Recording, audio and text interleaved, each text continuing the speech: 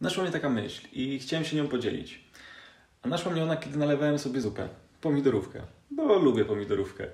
I poczułem wdzięczność za to, że mam obiad, że mogę zjeść, że wcześniej po szkole, zdenerwowany, bo po szkole, mogłem podjechać do McDonalda, kupić sobie kawę z ciastkiem za 20 zł.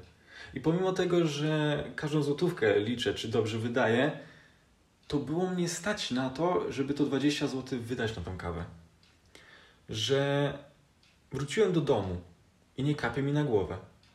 I idąc za tymi myślami, też pomyślałem sobie, kurczę, ej Kasper, przecież możesz chodzić, możesz ruszyć dubsko i iść poćwiczyć, możesz normalnie pracować.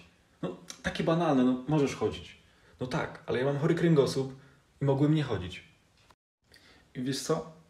Kiedy poczułem tą wdzięczność, ale tak naprawdę ją poczułem, to tak bardzo dziwne uczucie, e, kiedy tak mi to przeszło e, w tych nerwach, w tym smutku, w tym zmęczeniu e, codziennością i różnymi obowiązkami, też po szkole, nagle mi ulżyło. Nagle poczułem, że okej, okay, no dobra, masz dużo pracy, jest wiele rzeczy do zrobienia, jeszcze dzisiaj.